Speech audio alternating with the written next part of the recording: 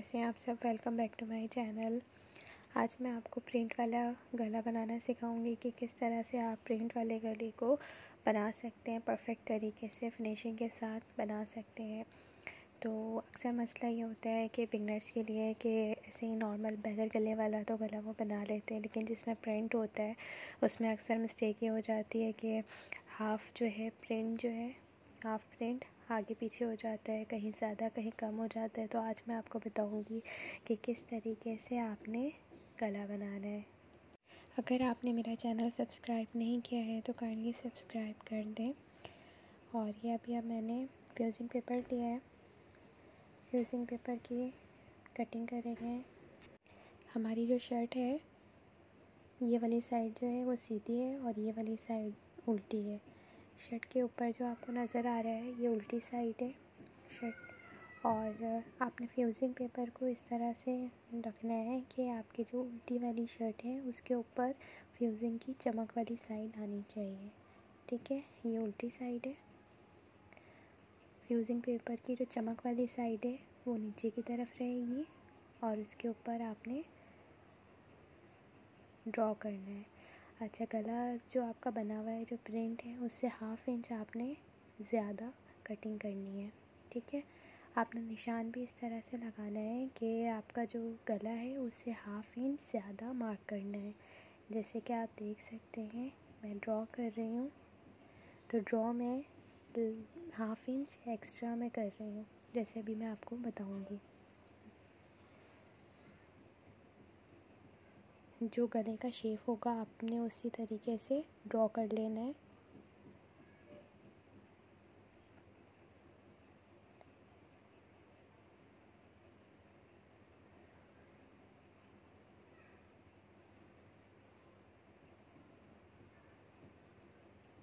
Half inch ज़्यादा draw करना है।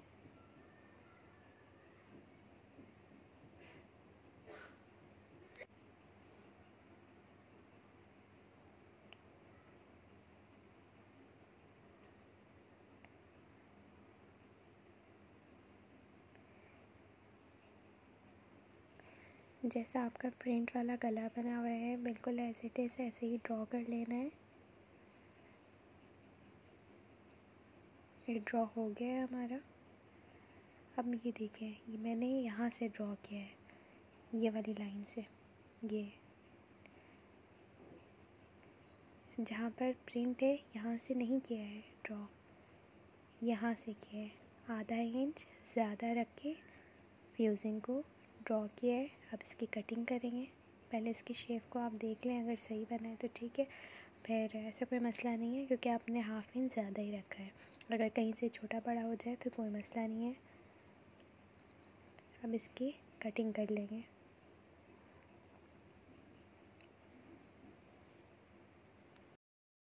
इसकी कटिंग कर लेंगे।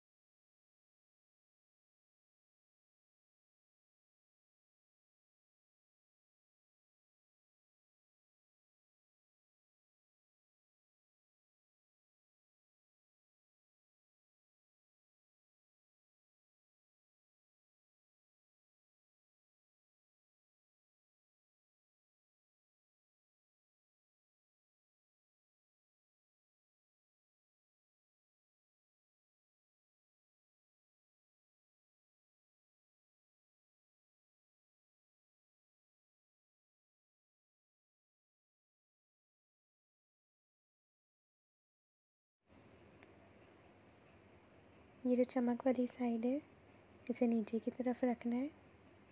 उल्टी शर्ट पर चमक वाली साइड नीचे की साइड जाएगी और इसे प्रेस कर लेना है। प्रेस आपने अच्छी तरह से करना है। जो एक्स्ट्रा होगा, वो आपने कटिंग कर लेना है। अक्सर ऐसा होता है कि गला हमेशा बड़ा हो जाता है। मैंने आपको ये एक टिप्स भी देनी थी कि आप जब भी गला बनाएँ, अगर आपका प्रिंट वाला गला हो तो आपने जो आपका जो बॉर्डर है, वहाँ से लाइन ड्रॉ करके कटिंग ना करें, क्योंकि मैंने एक्स्ट्रा रख कर कटिंग किया था। अब सिलाई के वक्त मैं ये देख लूँगी कि किस, कहाँ पर प्रिंट आ रहा है और किस तरह से इसकी शेप जा रही है। इससे ये आसानी हो जाती है। इसे प्रेस कर लेंगे। मैंने फ्यूज़िंग को पहले से कट नहीं किया है। पहले से कट करने से ये होता है कि गला और फैल जाता है, चौड़ा हो जाता है फिनिशिंग नहीं आती है, इसलिए पहले इसको प्रेस करेंगे, फिर सिलाई लगाएँगे। प्रेस आपने अच्छी तरह से करना है, क्योंकि अक्सर ऐसा होता है कि सिलाई के वक्त फ्यूजिंग पेपर निकल रहा होता है तो आपने प्रेस अच्छी तरह से करना है। फिर उसके बाद आपने सिलाई करनी है।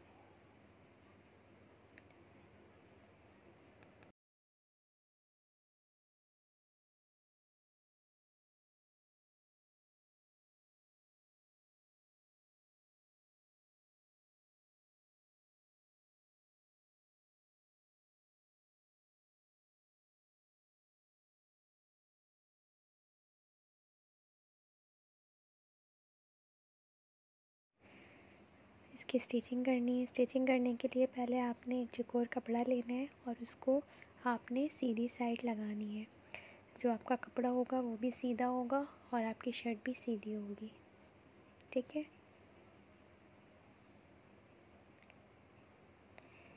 तो स्टिचिंग स्टार्ट करते हैं। ये देखिए, मैंने ये स्टिचिंग करनी है। ये कपड़ा लिया है। ये देखिए, ये उल्टी साइड है। और ये सीधी साइड है और ये भी सीधी साइड है। दोनों को इसके ऊपर रखना है और फिर सिलाई लगा देनी है। सिलाई इस तरह से लगानी है कि आप देखें, बॉर्डर नज़र आ रहा है। ये देखें, ये वाला जो बॉर्डर आ रहा है, ये सिलाई करते वक्त आपने इसके ऊपर से ले जाना है। ये देखें, यहाँ से। इस तरह से ये नज़र आ रहा है और आपने इसके ऊपर सिलाई लगा लेनी है। जो शेप है गले का, उसी शेप में आपने सिलाई लगा लेनी है।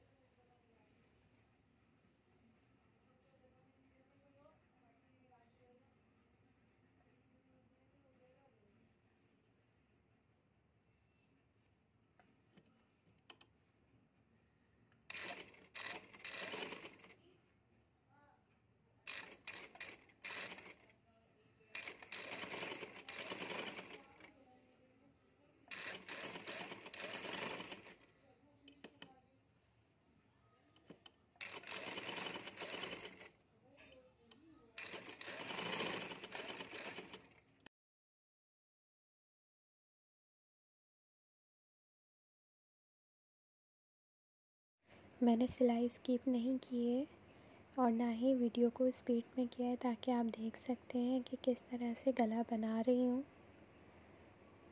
कटिंग और स्टिचिंग दोनों की वीडियो डिटेल में बताया है कि किस तरीके से आपने इसकी कटिंग करनी है और स्टिचिंग करनी है।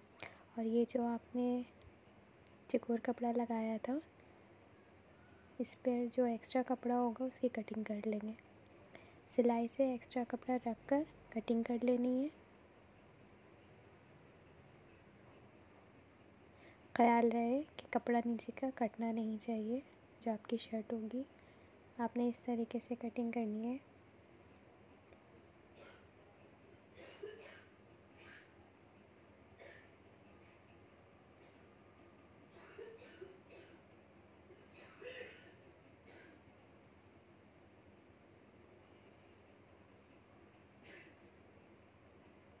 काफ़ी डिटेल में आपको बताया है।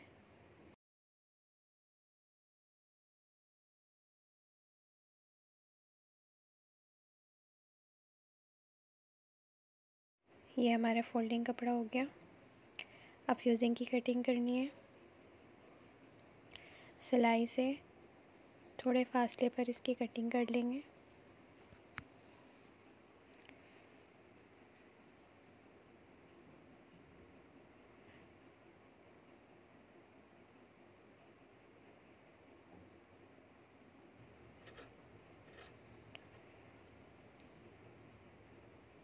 कॉर्नर पे कट भी लगा लेंगे ताकि हमारी जो सिलाई है वो अच्छे से बैठ जाए।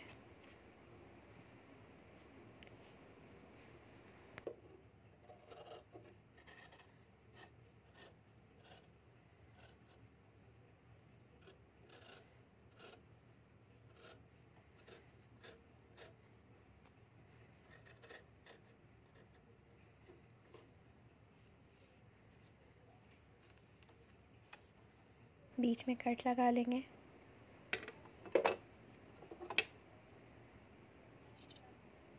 बस सिलाई में हमारा कट नहीं आना चाहिए।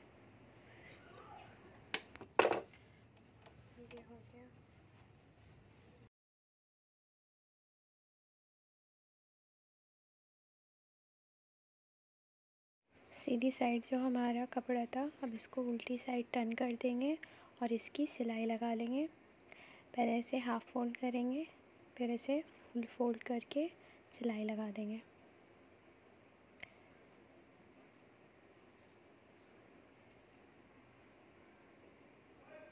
इसकी सिलाई लगाएँगे।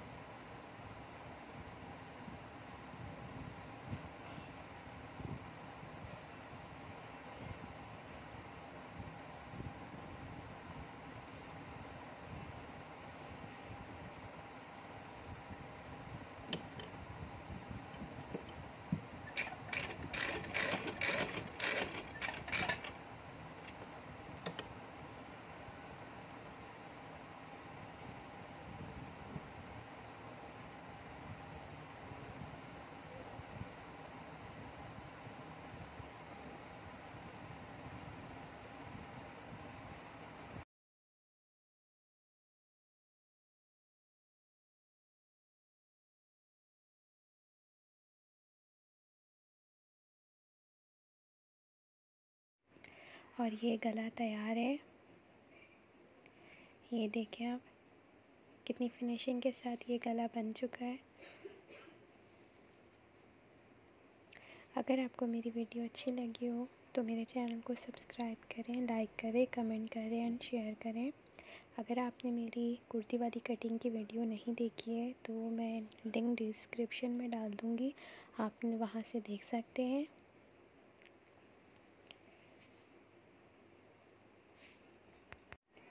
कमेंट सेक्शन में आप मुझे ज़रूर बताइएगा कि आपको ये मेरी वीडियो कैसी लगी है। अपना फीडबैक ज़रूर दीजिएगा। अल्लाह हाफिज़।